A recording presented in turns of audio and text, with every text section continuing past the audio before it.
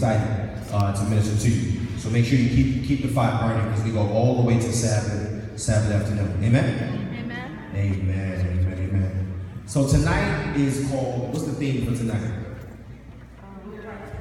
Relationships hard to Stop being lame. What's tonight's theme? Bring your boo night. Bring your boo night. Let me put somebody on the spot real quick. If you if you if you brought your boo with you, just just raise your hands if y'all sit next to each other. Got your boo with you. Got your boo with you. Got your boo with you. he raised his hand. She moved over. Oh Lord. They need every bit of this sermon tonight. Come on now. Amen. So it's good. And I know that some people brought their booze with them in spirit. Amen. And Amen. some people brought their prophetic booze with them. Amen. He's coming, she's coming one day, right? It's all right.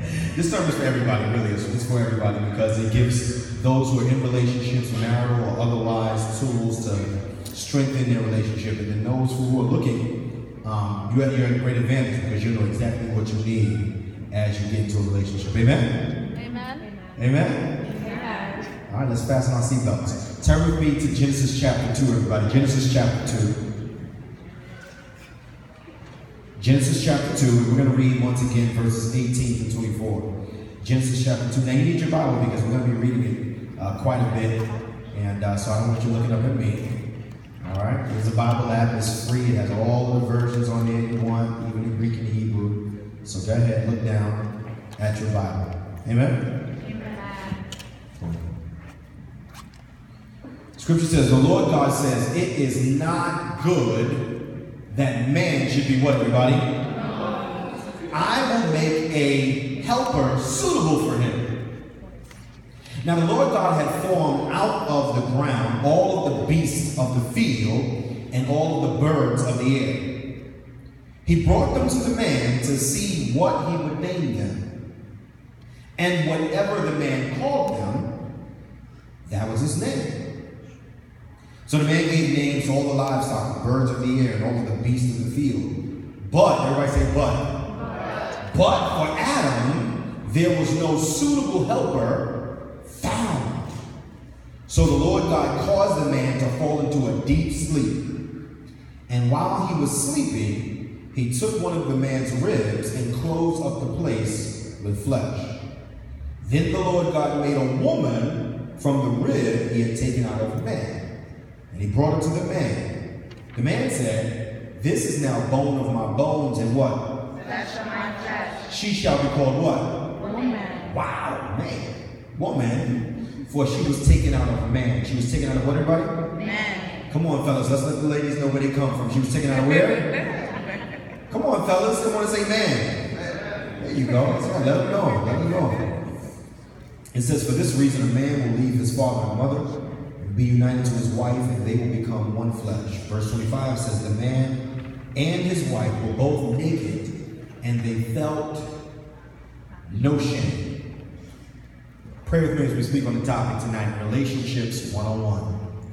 Father God, we thank you for the opportunity to sit at your feet. And all of us in here, Lord, we're in need of learning, but more so than that, transformation. Our society, our world downloads images of relationships, broken relationships so much that's the very thing that we emulate. I pray for a moment in time. May we take a look at what you meant for relationships and how we can adopt those principles in our lives. Is our prayer in Jesus' name. Everybody say? Amen. And amen. How many of you guys are fans of R&B in here? You like R&B music? If you like R&B, raise your. The elders here, so you're not gonna raise your hand. I get it, I get it, I get it. All right, so so some of y'all like R&B in here, right? So since one of my favorite R&B artists is Mary J. Blige, like she's the queen, remember? She's a queen, and then of course you got you know others who have come through the ranks. But what's what's funny about R&B, right? If you buy an R&B album, one song will be about love and how I love this person, love them so much. A couple of songs later, on the very same CD, is a story about heartbreak. So what is it? Is it that we are experiencing idyllic and picturesque relationships, or are we destined for brokenheartedness all the time? When you open up this passage of scripture here, we look at uh, verses 18 to 24, what we find God doing is He's creating the first couple. He's making them to a couple. So let's back up and let's understand the context of what Adam is experiencing. It says in this verse 18 to 24 that it's not good that man should be what, everybody? Alone. But he's not necessarily alone just yet. It says on the first day of creation, let me, let me give you guys a quiz. On the first day of creation, God created what? On the first day of creation, God created what? Huh? On the first day of creation, God created what? And let there be, and there was what? Thank you. First day of creation, right? Second day of creation, God created what? Hmm? Earth was already created. Let's go on. Go on. Go on. On the second day of creation, he created what? The firmament, right? Above and beneath, right? So he made sky and water. Okay? On the third day of creation, what did he make? Dry land. Look at the young man. You know he a pathfinder, straight up. he got that down fat. You, you a Voyager? No, not yet. Friend, okay. You working, brother. You working, you working. Oh, Ranger, my bad. My bad. Ah, salute. Salute to the soldier. Right, so so on the third day of creation, God creates what? Stand up in his peas. On the fourth day of creation, this is when it starts getting real money. On the fourth day of creation, what did God create? Sun, moon, and stars. You know, they got the answers in the textbook, like right in front of you. Like, y'all like, oh, it's right there. Right? All right, so on the fifth day of creation, he created what? Fish, fowl. The fish, right, and the what? Birds of the air. You got knocking out the park. On the sixth day of creation, what did he create? Land animals, creeping things that creep upon the earth, and then he also created food. Mankind on the sixth day of creation. And then on the seventh day, what did God create? Nothing. Gotcha. Trick question. He didn't create anything on the, se- on the seventh day. Rather, he rested, and therefore it became the Sabbath. Uh, a day to just commemorate his creation. You sort of look back on the seventh day of God. Like, God, you good. You real good at what you do. But one thing I want you to notice about the days of the creation week is that there's a science to what God has done. What do I mean by that? The first three days of creation are preparatory for the next three days that come after. Follow me very closely. In other words, the first three days of creation, God creates the container.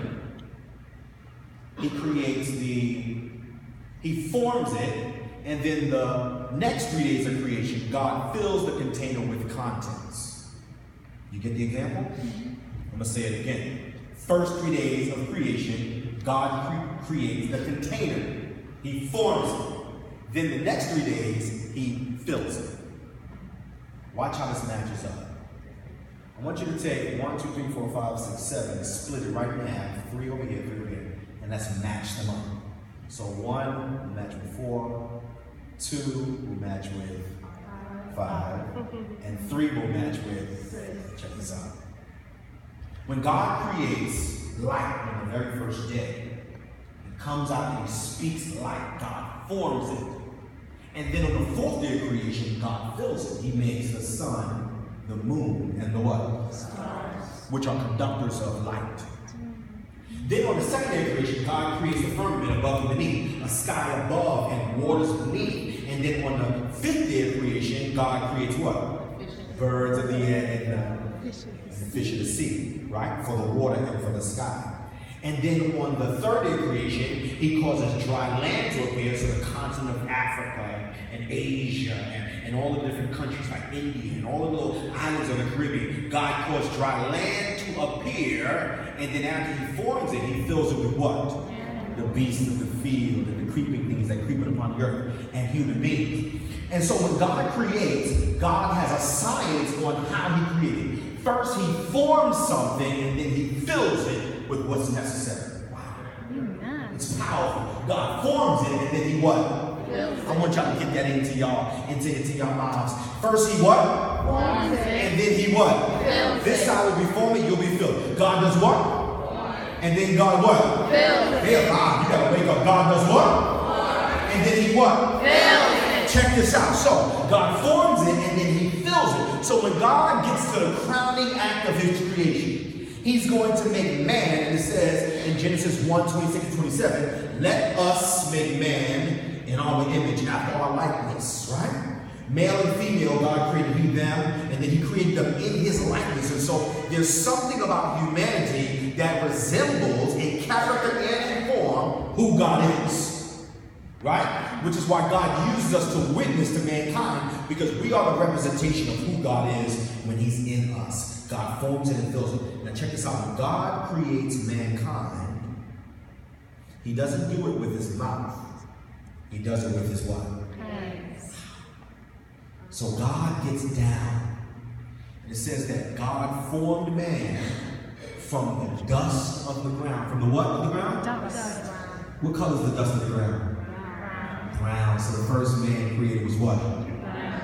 Come on, say it again. Don't be afraid. Y'all you're scared. Stop being scared. The first man was a ruddy, dark-skinned man. Come on and let the church say. Amen. So whenever the pastor or whoever comes with the evangelistic series, and he has a blonde eye, a, a, a blue eye, blonde hair, Adam, be like, uh, sir, I agree with everything that you said, but that image up there is not biblically correct. And the church said what? Amen. Because I know black folk love their white Jesus. Merciful. Hello? That's another sermon of the day. Where was I? So God, right? So God is down and he forms man from the dust of the ground. Think of how great of a scientist and chemist God is. That he takes the chemical properties of the dust, of the dirt, and he puts it together and he makes bone and he makes he makes muscle and he makes veins and he creates the, the, the neurological system and the, the cardiovascular system and, and God creates eyes and vision and thought and concepts all from the dust of the ground. Don't tell me what my God can't do. But after God forms man, he's laying there almost like a lifeless shell. Just a body.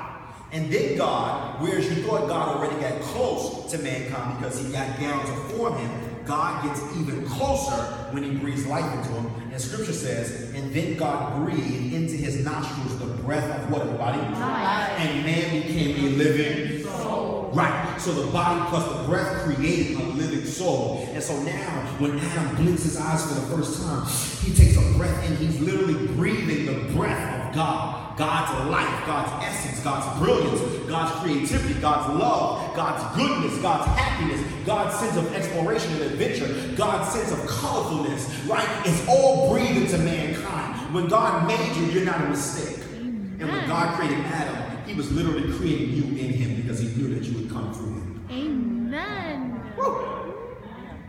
God said, in order to get me here, I'm going to build Adam, but in Adam is held the seeds of the nation. And God was going to come through Adam one day. Praise the Lord. Amen. And we're all still living off that one breath he breathed into Adam. Isn't that mm. deep? Mm. So God first formed mankind, and then he gets close, and then he breathes into him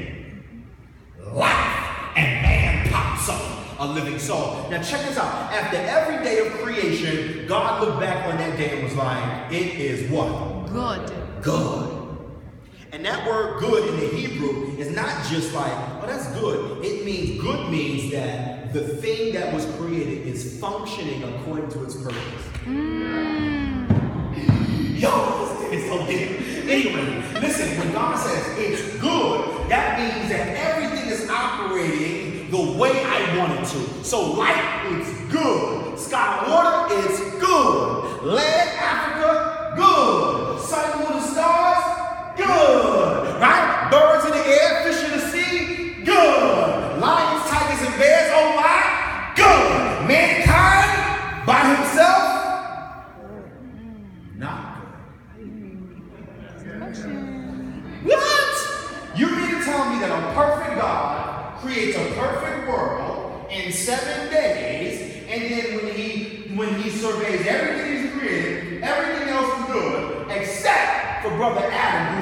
himself. and God word